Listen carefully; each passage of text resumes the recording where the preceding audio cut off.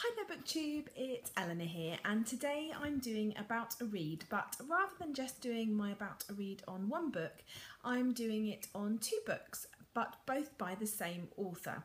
Um, I was lucky enough to receive two review copies from Walker Books uh, by Jandy Nelson. The first is The Sky is Everywhere and the second I'll Give You the Sun. And I wanted to talk about both of these books in one review, A, because of them being by the same author, but also because I read both of them in one day. And I don't mean one day each. I read both these books on a Sunday I was pretty much reading most of the day, but I read both of these books in one day. I just couldn't put them down. So, starting in the order that I read them, the first book I read was The Sky is Everywhere. I went into this not knowing an awful lot. Um, I was uh, sent quite a lot of these books as part of promotion that Walker were doing um, to place around my local area for people to have for free. And then they could tweet a picture of themselves with the book. Um, and this was in order to sort of promote the new book. And obviously I was lucky enough to have one of the books for myself.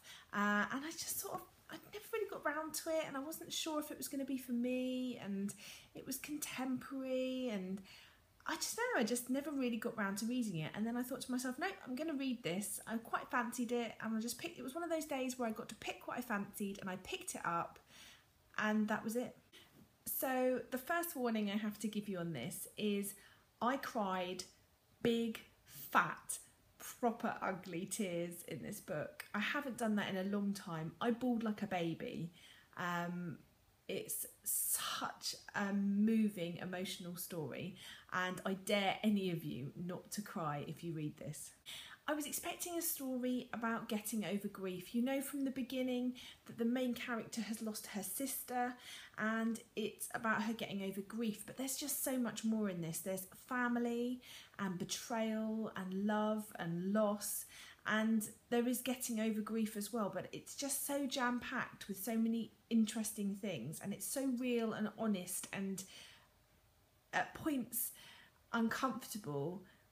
I really yeah this book really moved me well it moved me to tears. I really enjoyed it so, giving you a quick synopsis of this story, it's about Lenny and her sister has died. Her mother's never really been in the picture, she's never known her. Her mother is apparently a wanderer, so she just walked out and likes to wander and she's always lived with her grandmother and her uncle and so obviously did her sister until her sister dies and that happens it's not a spoiler right at the very beginning you know her sister's died and we just follow her getting over the death of her sister, who was such a big part of her life. They shared a room.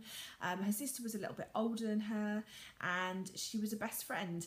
And they bonded, obviously, without having their mother. They spent a lot of time together. They were always there, keeping a lookout for each other. And this story just follows Lenny in her progression towards getting over this grief and the things that happen in her life. It was just a brilliant read, and I gave it five stars. I next moved on to I'll Give You the Sun also by Jandy Nelson. Um, I'd heard a lot more about this. I'd heard a lot of people had received copies of it to read. I'd heard a few people had read it and said how good it was. So I was expecting good things, and having just put down the previous book, I was ready to be wowed again, and I wasn't disappointed. However, this one was a little bit more of a slow starter. It's told from the perspective of twins Noah and Jude, and it's about their life. We skip not only points of view, but we also skip ages. So we skip from around the time when they're about 13, 14 to when they're 16, which is meant to be sort of the present day. And it just follows their life um, amongst some tragedy and growing up as twins. And there's a lot about art in here. It's um, there's a lot of exploration of art. There's also love. There's family dynamics again. And this is obviously what Jandy Nelson does really well. She obviously writes stories about family and the complications and the realities very well. And I found that really um, quite powerful within her writing Something's obviously happened in this story, don't know what it is, that has driven a wedge between the two twins and they're no longer speaking to each other. And that's part of what this is. It's uncovering all the different deceptions that have happened, all the different things have, that have draw, pulled them away from each other, and we find out whether they can find their way back to each other and be as close as they were.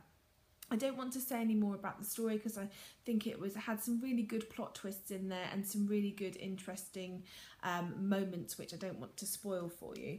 I just found Jandy Nelson's uh, writing really engaging, really easy to read. I mean the font in these books is relatively big but it's got some really great detailing in both books actually. In The Sky is Everywhere at the beginning of each chapter, there's different sort of handwritten notes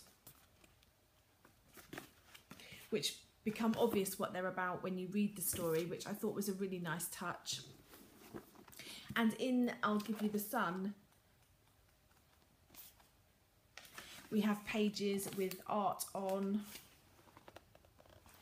and different chapters have different drawings on them which really um, helped in terms of drawing you into the story because it's a very evocative and um, it, it, relies on a lot of imagery this story and the artwork is a massive theme in this. And I wouldn't necessarily call myself um, an art appreciator or you know I, I like art but it's not something that I'm really into.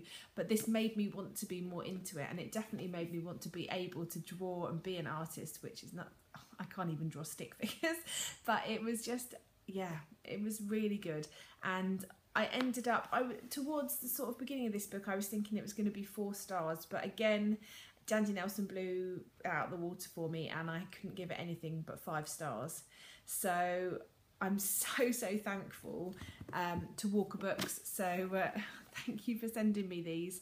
And I shall now be um, telling everyone I know to read them, and I already know a couple of perfect people that I'm going to um, tell about these. And obviously, I've told all of you about it. So you let me know. Have any of you read this?